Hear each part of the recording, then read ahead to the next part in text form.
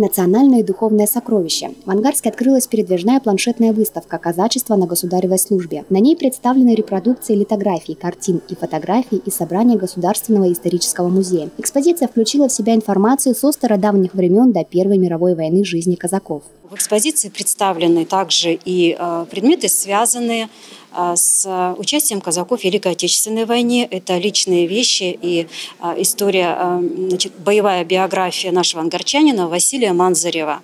Имя Василия Манзарева известно почти каждому жителю города. Экспонаты местного казака и биография находятся в фондах и экспозициях Музея Победы. Дополнение сделали и представители казачества, те, кто хранит реликвии, связанные с историей семьи. Они предоставили музею подлинные предметы, мемории, как называют работники музея. Среди них и Мстислав Неудачин, который является потомком иркутских казаков. Пулеметные ленты, а, какая-то литература, письма с фронта Кавказского – затем а, тут э, Евангелие там и прочее. То есть э, вот, есть тут карманные Евангелие, э, именно казачьи в кармане, который носился гимнастерки. А хранить дома, ну, чтобы самому любоваться на это, ну, оно лежит в коробке, и никто это не увидит никогда. А так здесь кто-то сможет посмотреть. Перевозная выставка побывала уже в 20 регионах страны. Теперь эстафету приняла и Иркутская область. Ангарчане посетить выставку смогут до 14 января.